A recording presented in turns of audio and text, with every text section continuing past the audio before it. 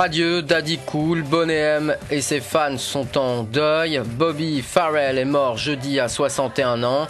Il a été retrouvé dans sa chambre d'hôtel de Saint-Pétersbourg où il avait donné un concert la veille.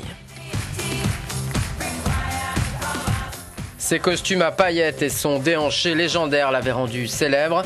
Né en 1949 dans les Antilles néerlandaises, Bobby Farrell s'était installé en Allemagne dans les années 70 où il avait été repéré pour faire partie du groupe légendaire de disco.